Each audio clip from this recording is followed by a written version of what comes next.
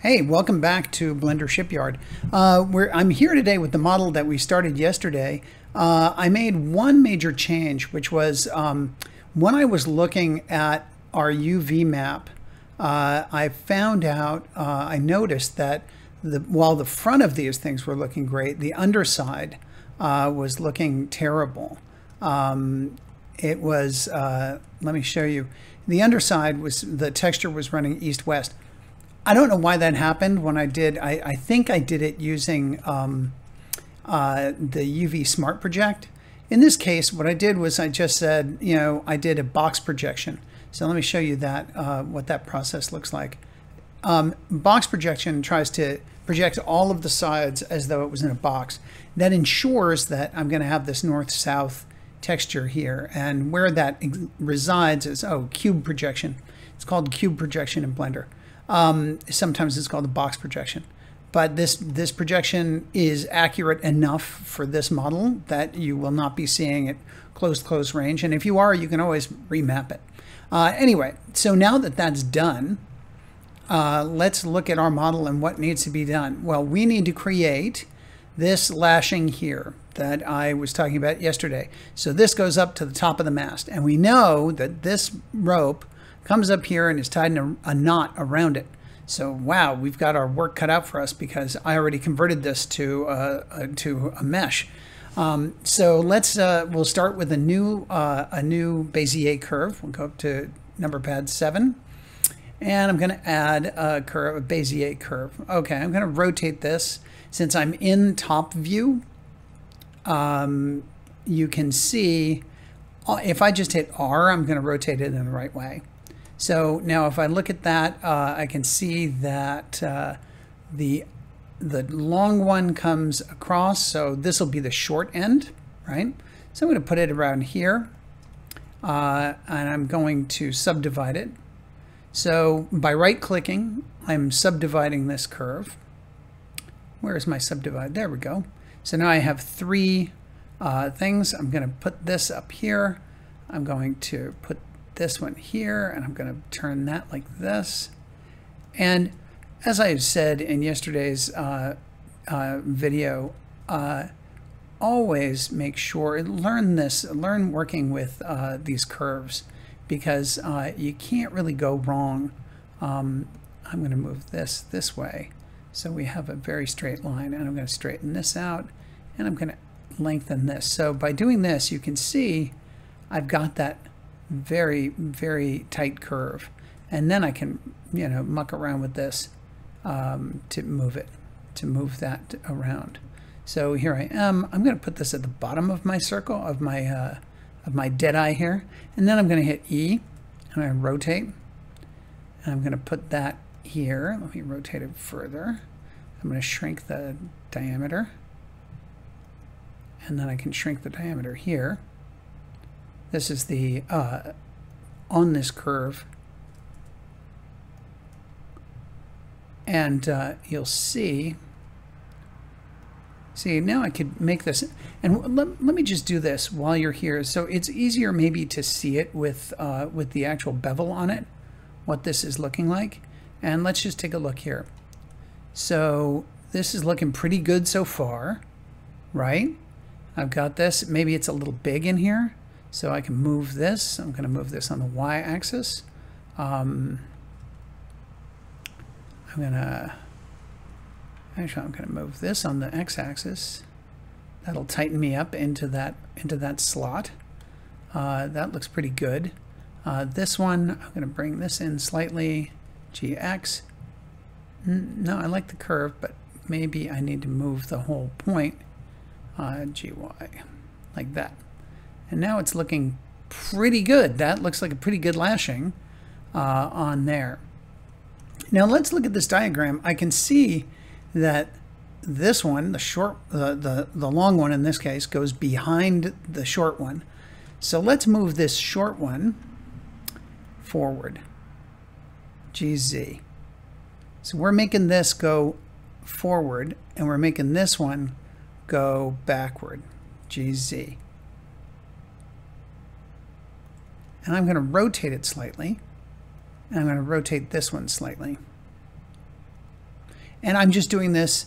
I could be very careful and rotate this on the uh, on the uh, y-axis, but I'm just doing it by sight because this again, it moves around. It's a it's a naturally occurring object uh, that a human being has manipulated. So uh, what I'm going to do here is I'm going to move this gx. I'm making this very short, and I'm going to move it a little. Well, we'll see. So let me hit. Um, I go into seven again. Now I'm going to hit. Uh, I'm going to click here. This I'm now on this back one and I'm going to hit E again so it comes up here. And now I can rotate this, bring it up here. And uh, I'm looking a lot like my uh, my uh, my drawing here, right? So let's figure out, let's make it look more like that. I can see, I'm going to move this uh, GX GX. I want it to be really lined up. I'm going to move this GX. We're going to, they're going to be really tied tightly together. And I'm going to move this GX, GZ, no, GY. Um, okay, so that looks um, pretty solid to me, right? Doesn't that look a lot like that? Okay, so now uh, we need to create these bands around it. So what does that look like? Well, you can see these are, I think it's called, I don't know if this is called reading or reeving, but these are, uh, it's like a fine string that's wound around the two cords to tighten them together. Um, we're not going to actually model that. We're just going to make uh, uh, basically a cylinder that's wide enough to cover that. And then we're going to, or I'll use a, a curve as a loop, and then we'll create a beveled edge uh, a beveled uh, surface to go around it. So let's let's see how we're going to work on that. Uh, so we have a problem, right? We now need to create these things. So I'm going to add uh, a circle here. Um, and I can, oh wait, I was, I was in edit mode. So now I'm out here, I can now add a circle. So I added a circle to this object inside it. So that's not that's not what I wanted to do. I wanted to add a separate curve. So uh, let's add a circle. And now I'm going to rotate it on the x-axis, RX90. Uh, I'm going to move it GY. Uh, I'm going to shrink it down until it's really small. Um, and then I'm going to uh, I'm going to scale it on the x-axis, SX. Now you'll see that's not exactly the shape I want to have this be. So I'm going to go in here and I'm going to change this to individual origins and I'm going to make these slightly bigger. I'm going to scale these up until they're breaking that surface. And I think that looks about right. We'll see. We'll see what it looks like. But I think that's pretty good. Uh, we might want to, you know, edit this and pull this uh, this curve slightly this way and I'm going to move this. Um,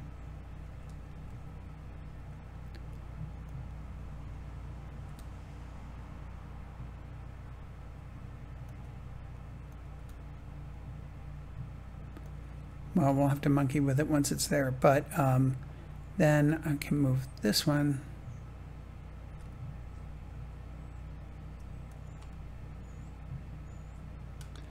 Okay, so now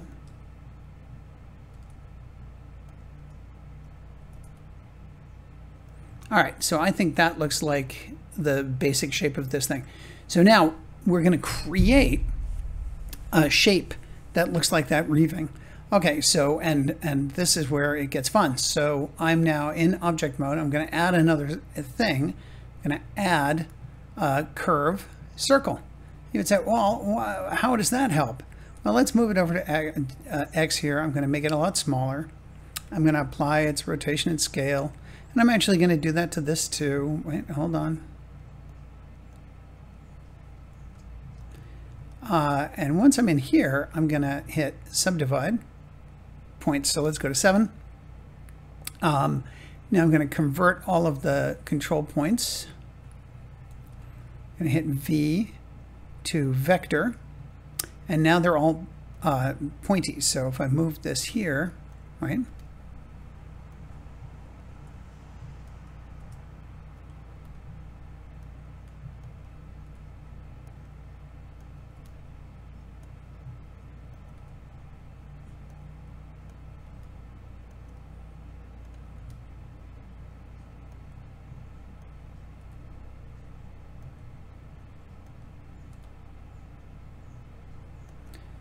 So now I'm imagining that I'm creating the surface of the, uh, here, let me take it, let me do a grease pencil here. Uh, I'm going to create an object that looks like this, like that band of cords, as though I was winding a little uh, wire around the thing. So let me just uh, control Z. I don't know. Oh, I'm in object mode. So uh, edit mode. So how am I going to do that? Uh, I could have drawn it that way. But instead, what I'm going to do is I'm going to do this.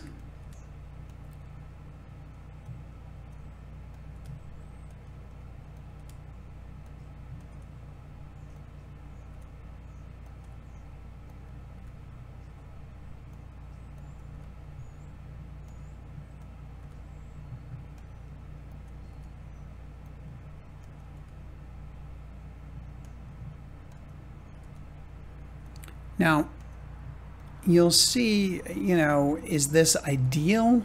Is this uh, is this the best way to do this? It's the for me, it's the best way. You could create, a, you know, a, you could just do a single band and then repeat it. Um, I like the the more um, organic look of doing this by hand because you know everything is you know these are all as I've said so many times they're organic shapes. These are not. Uh, it's not traditional. Um, by the way, I've been doing this by hitting, uh, I've been selecting and pointing. When you're working with this, um, I should have just gone to tweak because tweak allows you to grab these. You don't have to click G to move stuff around. Uh, I don't know why I was wasting my time that way, but hey, I've wasted so much of my own time. What can I say? Okay, so I think that's about right for um, what I want. Maybe I'll drag these down a little bit more. Uh, this one needs to be like this. So now, that is my profile that I'm now going to run around this thing. So let's make it smaller. First of all, we'll scale it down. And we're going to do uh, Control A, rotation and scale. Then I'm going to go to here and when I, where I go to bevel, where I've been going to this round, the circle, it just says round here. Uh, you can do it. You could do it with a profile, but I've created an object. So what object am I going to select? I'm going to select Bezier Circle 1. Let's take a look. Uh, I'm going to tab in here and I'm going to select all of these things. And now I'm going to go to Item and I'm going to change my tilt to see if I, ah, there we have it. There's my band. So you can now see uh, what I was trying to get at. So let's, uh, let's scale this up. All right, so now let's, uh, let's adjust this. GX, GX, GZ, and we'll leave that like that for now. And then uh, we'll do RY.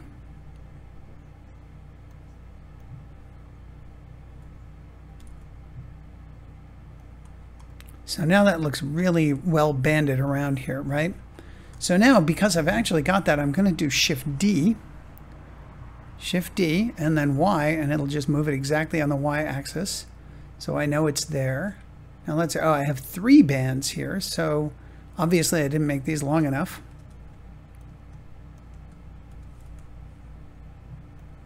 And that's all fine.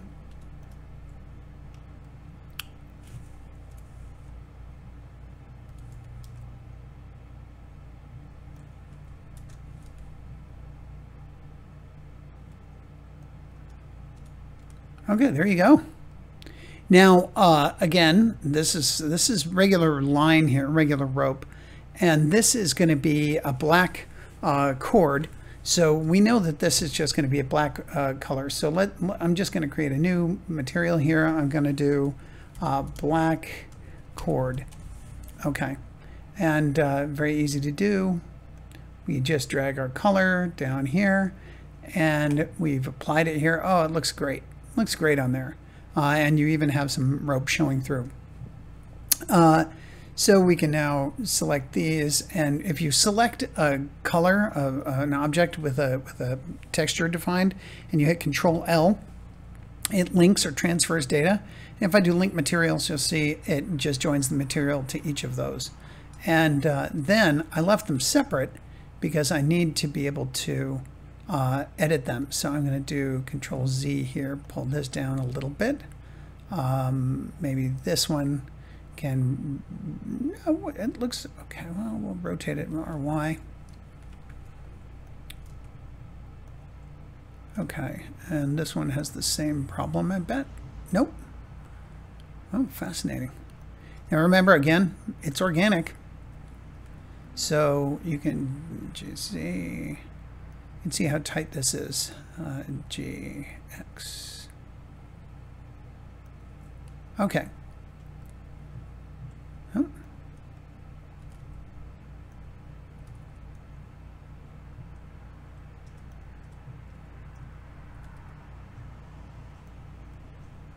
See, and now that looks like it's really bound together as though it's giving some sort of, uh, you know, resistance to that, to those little cords.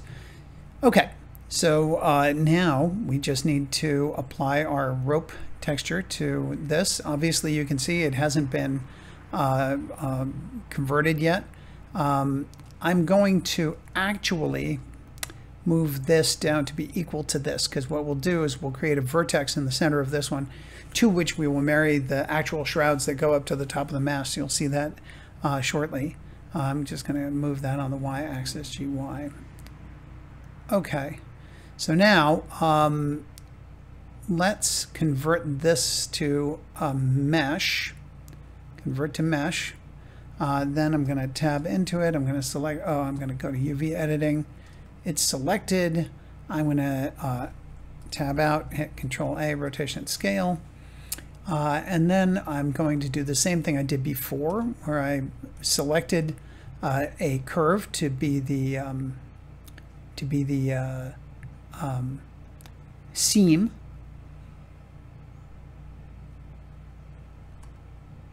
Well, we'll just mark that as a seam. Um, it's on the back here, so this is the front. So let's uh, figure that out. But now we have that seam. I can do UV unwrap, right? All UV unwrap. And now we have, uh, let's look in here. Yeah, this is correct. So you see this very high resolution area is where you have that extreme bend in it. So it's compensating for the curve on the mesh. Uh, so I'm just going to expand this and uh, GX, we'll move it this way. And let's see what that looks like. Looks pretty good. Uh, again, this is not the final texture, but uh, we're, you know, this is that looks pretty solid. So let's save, go back to our layout, and then uh, turn on our rendered look. Yeah, so this is looking pretty solid. Um, we have this curve coming up. So now let's figure out where that is. Um, all right. So I know, let's go up and look at this diagram here. You can see it comes up and it goes around the back, it comes around the front, and then it does a little uh, bunny rabbit into the whole thing. Uh, you'll, you'll appreciate this when it's done. Um, I can see that this is maybe not as uh, symmetrical as I want it, but uh, we have a way of making that happen. So in terms of making that bunny rabbit aspect of this, uh, I am not going to go in and actually weave that. I'm just going to make a knot.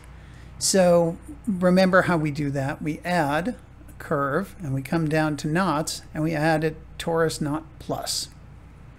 Okay.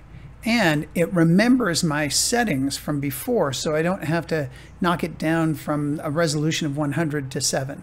So uh, now I have my, I want to make sure I have my medium point selected here. I can select all, make it smaller. I'm going to GY. Um, let's see.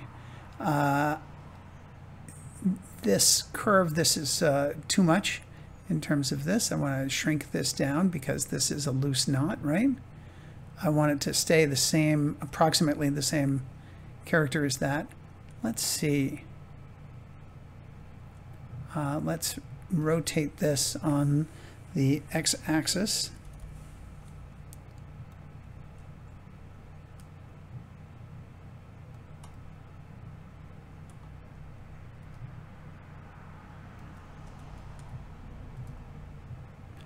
And we know it's a little looser. Um, I can even move these, uh, this vertex, GX, move it there. I can move this one here, GX. Um,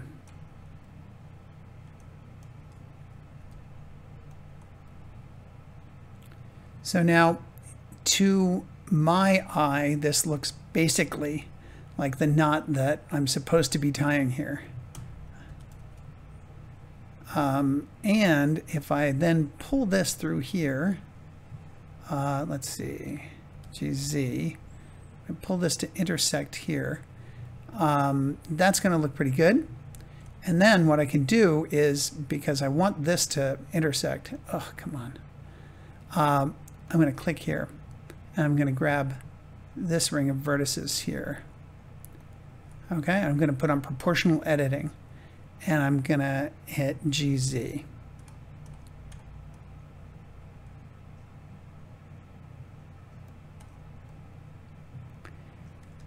And when you're done texturing this, I apply a material to this, the rope material, um, you're going to see it looks a lot like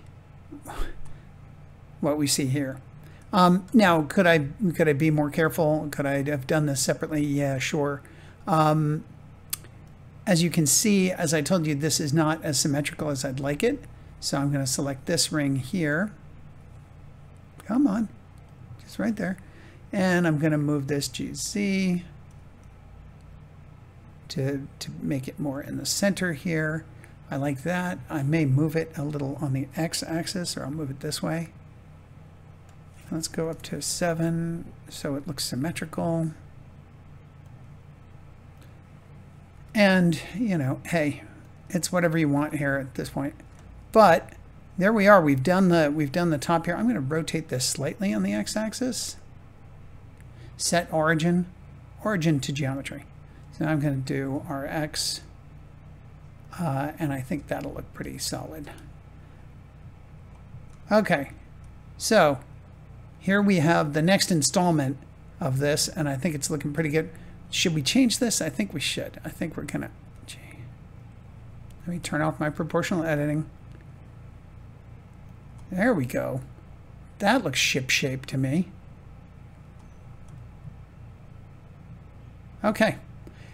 Hey, so I think that's all we're going to do today because I want to make sure that you guys uh, don't get tired of me and doing this work.